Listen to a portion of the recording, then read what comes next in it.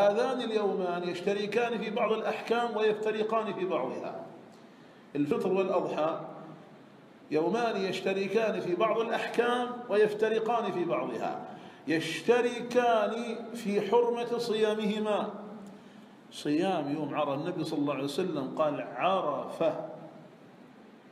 قال يوم العاشر وأيام التشريق أيام أكل وشرب. وفي رواية قال أيام التشريق أيام أكل وشرب وذكر لله تعالى.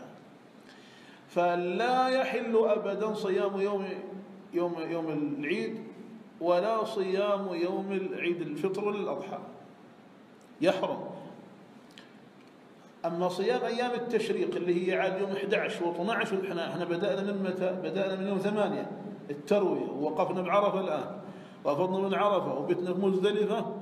ليلة العاشر ورمينا الجمرات في يوم عشرة وأدينا عامة المناسك وتحللنا التحلل الأكبر والأصغر الأصغر بحلق الرأس والأكبر بالطواف بالبيت.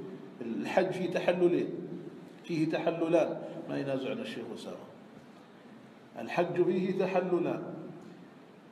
أصغر وأكبر. الأصغر يعني يكون بحلق الرأس. ولا تحلقوا رؤوسكم حتى يبلغ الهدي محله. كذا إذا حلق رأسه يكون تحلل التحلل الأصغر. إيش التحلل الأصغر؟ يعني يحل له كل شيء إلا النساء. فإذا طاف بالبيت حل له كل شيء حتى إذا بغى يتزوج ما يتزوج يأخذ راحته بعد ذلك. تحلل التحلل الأكبر. وبعد ذلك يجي عندنا 11 و12 و13 هذه أيام التشريق اللي هي يكره صومها. شوف لاحظ حكمة الله. التاسع يستحب صومه العاشر حرام صومه الحادي عشر والثاني عشر والثالث عشر مكروه صيامه. فمن صام التاسع أجر ومن صام العاشر أثم. ومن صام اللي بعد 11 مع 13 خرج بخفي حنين ليس له إلا الجوع والتعب.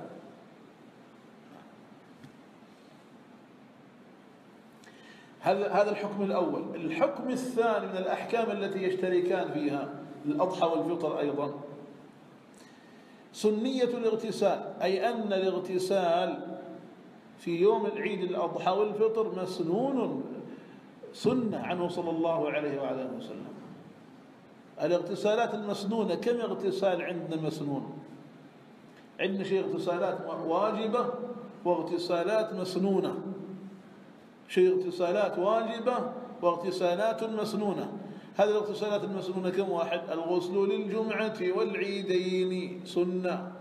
كذا مغسل ذا الحين. كذاك للإحرام. بالحج ومن يحجم قد سن له غسل البدن. إذا قيل لك ما هي الاغتسال كم عدد الاغتسالات المسنونة؟ قل خمسة. الغسل للجمعة وللعيدين ومغسل الميتة الموتى من غسل ميتا فليغتسل. حديث ضعيف. الجمعة والعيدين كذا مغسل ذا الحين وغسل الإحرام بالحج والعمرة وغسل المحتجم ومن يح يحجم لا ما من يحجم لا يحجم الذي يحجم المحتجم يعني قد سن له غسل البدن. وهذا الاغتسال مثل غسل الجنابة. وكيف هو غسل الجنابة؟ يلا بسم الله. هذا أبغاها عاد منكم من عندكم أنتم. الأبطال. واحد يكون عمره 16 سنة.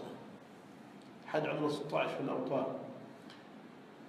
يخبرنا عن غسل الجنابة 16 هذا العمره 14 واللي عمره 15 حرام عليه أن يجهل غسل الجنابة. حرام عليه أنه يكون جاهل غسل الجنابة. ليش حرام عليه أن يكون جاهل غسل الجنابة لأن إن جهل كيفية الغسل لن يغتسل. وإذا لم يغتسل لم يصلي. ما قاص الركوع ربع ساعة وسجود نص ساعة. الصلاة باطلة. وبعد ذلك يسوي دروس. يوم السبت درس والأحد درس والاثنين درس والأربع درس. وهو خارج منها كالعيس في البيداء يقتلها الظمأ والماء فوق ظهورها محمول. آه بسم الله. غسل الجنابة كيف هو؟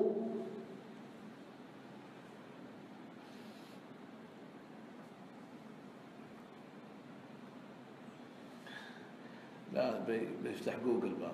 يشوف جوجل شيخ جوجل. الشيخ جوجل إيش يقول؟ غسل الجنابة كيف هو؟ شوف الشيخ جوجل وخبرنا شوف. شوف جوجل إيش يقول. وبيقول لك غلط. تعرف اللي يكتب جوجل؟ شوف يا ابطال غسل الجنابة كتا أول شيء النية. نية رفع الحدث. لابد النية لأن عبادة غير متعقلة المعنى غير معقولة المعنى. فلا بد من نية. كل عبادة غير معقولة المعنى النية فيها فرض واجب.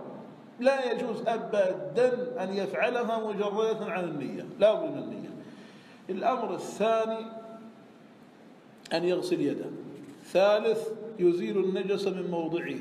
أيا كان موضعه. الرابع يتوضأ وضوءه للصلاة. الخامس يفيض الماء على رأسه ثلاثة. رقم ستة يغسل رأس اليمين ثم اليسار.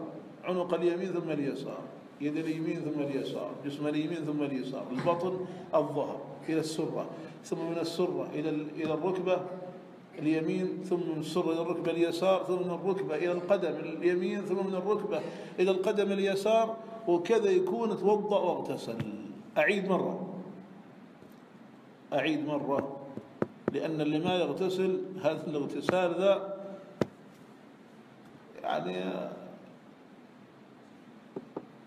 رحم الله المسلمين. إيش يسوي؟ قلنا ينوي اولا. وبعدين يغسل يده وبعدين يزيل النجس من موضعه ثم ماذا؟ يتوضأ وضوءه للصلاة ثم ماذا؟ يفيض الماء على رأسه ثلاثة ثم ماذا؟ يغسل شق رأس الأيمن ثم الأيسر. يده اليمنى ثم اليسرى ثم بدنه الأيمن ثم الأيسر ثم الصدر والبطن ثم الظهر من السرة ثم من السرة إلى الركبة اليمين ثم من السرة إلى الركبة اليسار ثم من الركبة إلى القدم اليمين ثم من الركبة إلى القدم اليسار. وبهذا يكون قد اغتسل. غسل يجزيه حتى عن الوضوء لأن توضأ فيه. زين هذا الغسل يغتسل للجمعة وللعيدين ومغسل ذا الحين وحتى غسل الموتى. غسل الموتى كذا. كذا غسل الموتى وهذه الاغتسالات بهذه الصفة. يغتسل يوم الجمعة. سنة مشتركة في العيدين. ومن الأمور المشتركة كذلك في العيدين صلاة العيدين. صلاة العيد.